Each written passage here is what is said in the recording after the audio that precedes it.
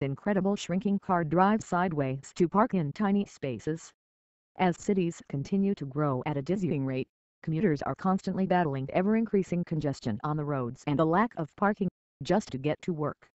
But now a team of German engineers have come up with an ingenious solution, a flexible electric vehicle capable of shrinking, driving sideways think like a crab and turning on a dime.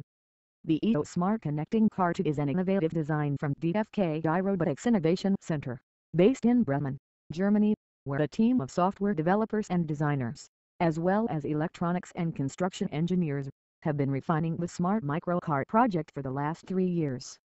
First announced in 2012, the team have moved on to their second iteration of the vehicle.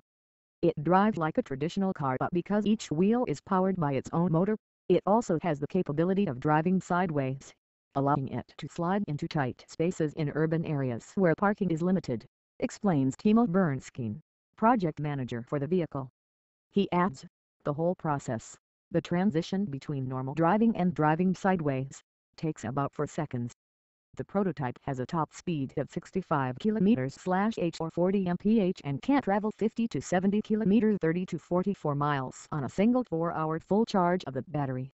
But it's the two-seater's ability to shrink to around 1.5 meters in length that has the team excited about its uses in future cities, says Birnschein.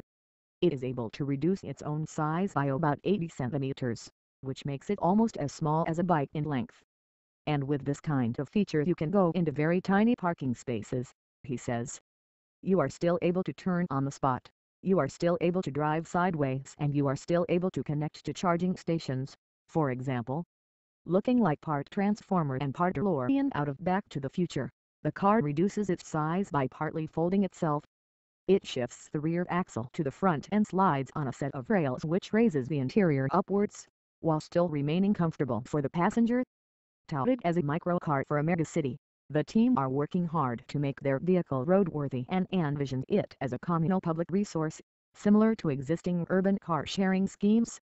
The idea is that when you need a car, you could head to your nearest docking station and select the vehicle that's charged enough to drive the distance you need. It would then detach itself and you would be on your way. It is very comparable feature-wise to the first prototype, says Birnschein. The second version is much more reliable and almost road legal. It's not really, but it's almost there and we are trying to bring this car to the road. But it's a big hassle to be honest because we have so many new technologies in the car that the technical advisory guys are skeptical.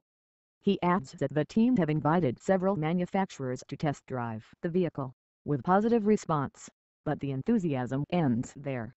The problem is for most car manufacturers, they are not really interested if they didn't invent it themselves. They may buy from Bosch or Siemens or whatever, technology parts like the SP and other things, but not complete systems. But his team remain undeterred as they continue working on autonomous features like autopilot and self-parking. Meanwhile Birnschein likens the situation to the rise in smartphones over the last decade, from non-existence to oversaturation.